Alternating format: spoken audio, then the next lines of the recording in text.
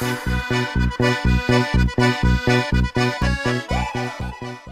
ko at talagang gusto po akong pabagsakin.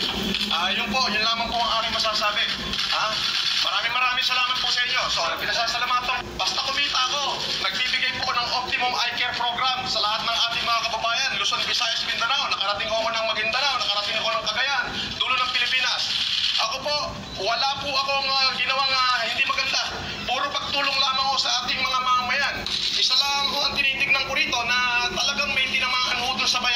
challenge ko at talagang gusto po akong pabagsakin. Ah, yun po, yun lamang po ang aking masasabi. Ha? Maraming maraming salamat po sa inyo. So, pinasasalamatan. Basta kumita ako, nagbibigay po ng Optimum Eye Care Program sa lahat ng ating mga kababayan. Luzon, Visayas, Mindanao. Nakarating ako ng Maguindanao,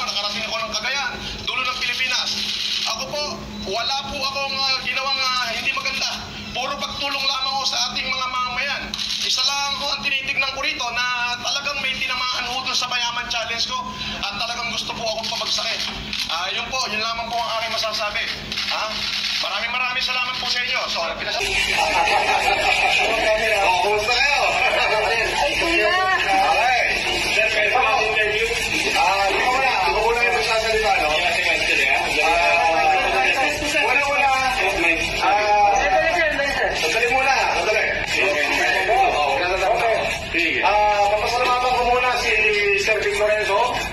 Ah, pumasyal siya kasi meron akong complaint dito.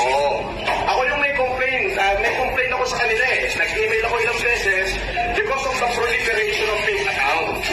Ngayon, sabi niya, sir, meron pong warrant of arrest dito. Violation of RA 8050.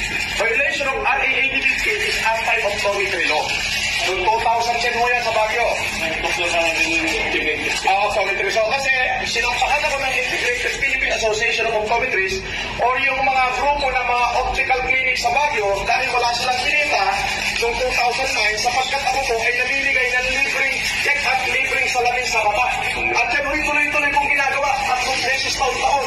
Pwede nyo kalkalin yung aking Facebook since 2007 up to present. Itong previous, ganyan lang ang kagayan. So sabi ko kay Sir Lorenzo, meron akong disease order. So kaya po ako nandito sa ngayon para pagkumparahin yung disease order